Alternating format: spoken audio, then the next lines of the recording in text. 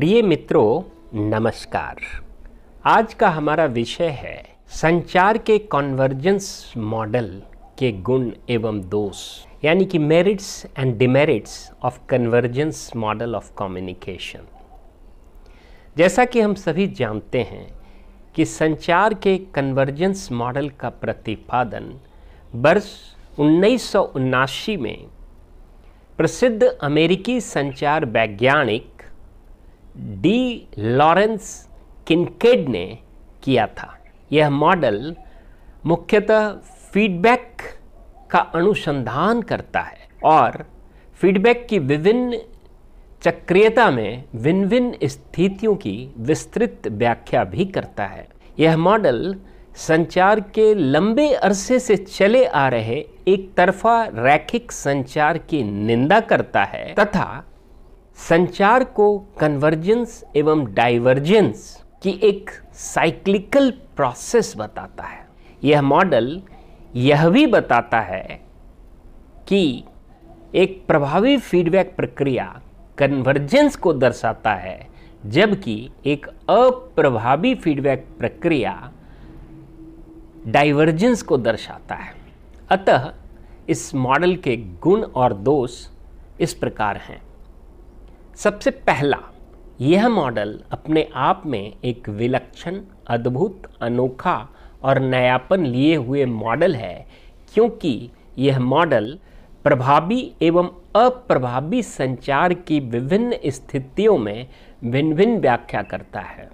इस मॉडल से संचार के नए नए तत्व, जैसे convergence divergence cybernetics communication process and control आदि का निर्माण होता है। यह मॉडल संचार के विभिन्न तत्वों एवं उप तत्वों के बीच एक प्रक्रिया एवं अंतर संबंधों की विस्तृत व्याख्या भी करता है।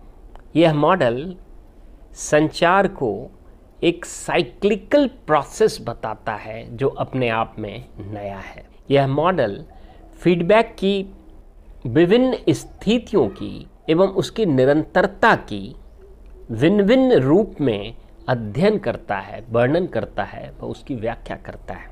यह model convergence divergence cybernetics multiple feedback effectiveness of communication ineffectiveness of communication situation की स्थितियों पर शोध के नए नए आयाम खोलता है, शोध के नए नए क्षेत्रों को का सृजन करता है।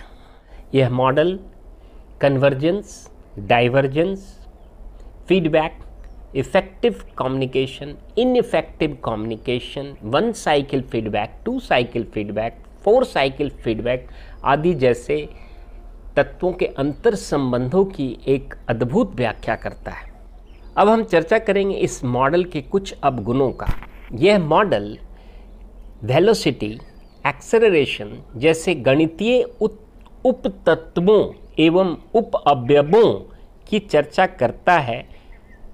परंतु मानविकी, सामाजिक विज्ञान आदि के शोधार्थियों के लिए इसकी स्पष्ट व्याख्या नहीं कर पाता। यह मॉडल लोक संचार एवं जन संचार पर बिल्कुल ही नहीं लागू होता है। यह मॉडल सिर्फ़ अंतर वैयक्तिक संचार एवं लघु समूह संचार के ऊपर लागू होता है, जहाँ पर निरंतर एक विचारों का आदान प्रदान हो रहा है, जहाँ पर निरंतर एक प्रकार से फीडबैक और प्रतिपुष्टि और प्रतिक्रिया दोनों स्रोत और ग्राहक के द्वारा उत्पन्न की जा रही है। यह मॉडल संचार को सरलतापूर्वक वर्णन करने का प्रयास तो करता है परंतु कभी कभी इसे सरल बनाने की प्रक्रिया में इसे जटिल भी बना देता है। तो दोस्तों, आज हमने चर्चा की कन्वर्जेंस मॉडल ऑफ़ कम्युनिकेशन के गुण एवं दोषों की। यदि यहाँ तक आपके मन में कोई प्रश्न हो, कोई शंका हो, किसी भी प्रकार का विरोधाभास हो तो आप बेहिचक, निसंकोच हमारे कमेंट बॉक्स में अपना प्रश्न कर सकते हैं। और यदि अभी तक आपने मेरे इस चैनल को सब्सक्राइब नहीं किया है तो कृपया आप इसे सब्सक्राइब करें। और इस तरह के वीडियो को पसंद करने वाले लोगों के बीच आप इसे शेयर करें ताकि अधिक से अधिक लोगों को लाभ हो सके। तो इन्हीं शब्दों के साथ धन्यवाद। नमस्कार।